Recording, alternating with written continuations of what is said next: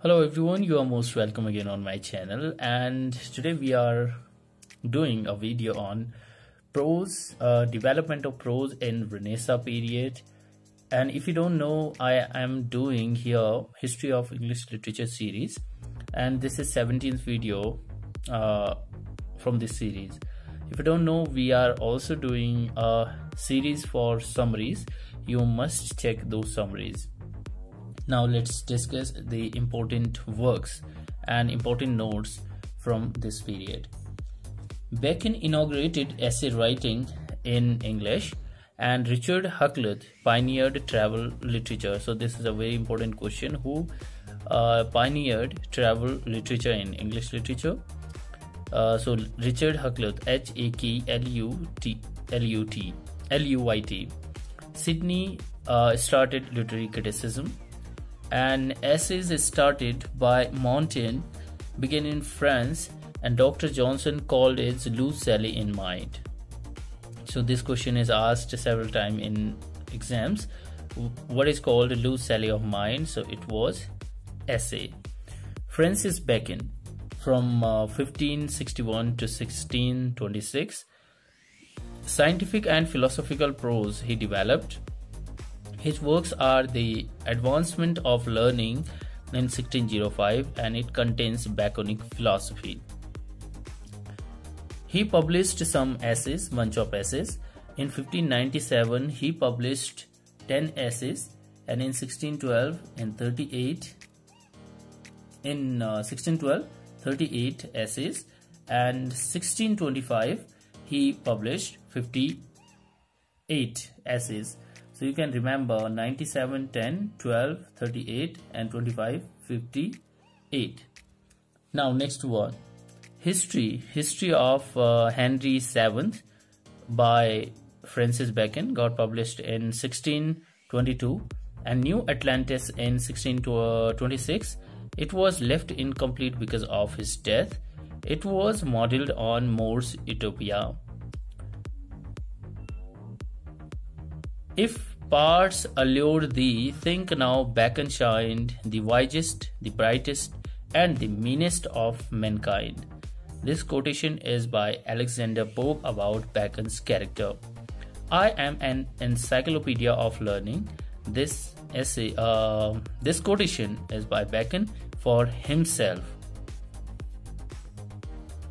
Now, some important prose works were written in that uh, period uh, by Ben Jonson 1573 to 1637 a great dramatist and poet he wrote aphoristic uh, essays.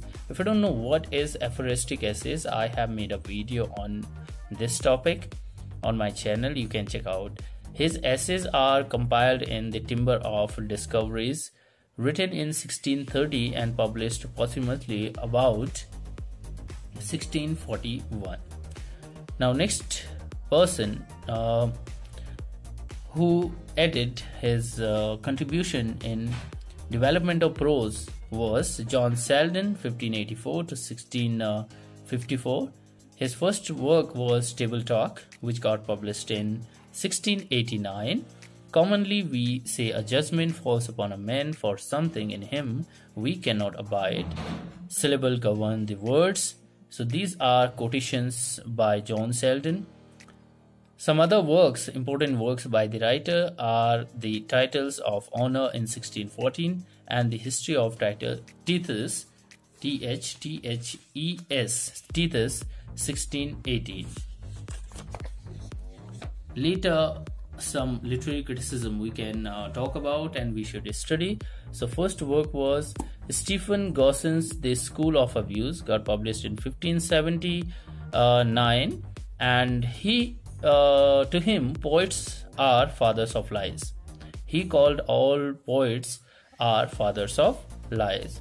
William Webbe's Discourse of English Poetry in 1586, George Puttenham's Art of Poesy uh, got published in 1589, and Sidney's Defense of Poesy in 1505 uh, sorry 1595 uh, which was reply to the school of abuse by stephen gossons in this work stephen gossons uh, talks about why we should not write uh, any poem, and Sidney answers his um, uh, about his views. He gives his views about poetry and why poetry should be written in defense of poesy.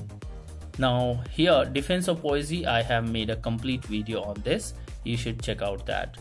Religious prose, two remarkable works of this period. Richard Hooker's The Laws of Ecclesiastical Polity in it got it was created between 1594 to 97 and the authorized version of the Bible in 1611. In next video we will be talking about again uh, prose development in the same age. Hopefully this video will help you to gain some extra mark in your examination and to help you understanding in English literature. So uh, if you like the video please do share comment and hopefully you have already subscribed the channel. Thank you for uh, watching this video. Bye bye take care. See you in next video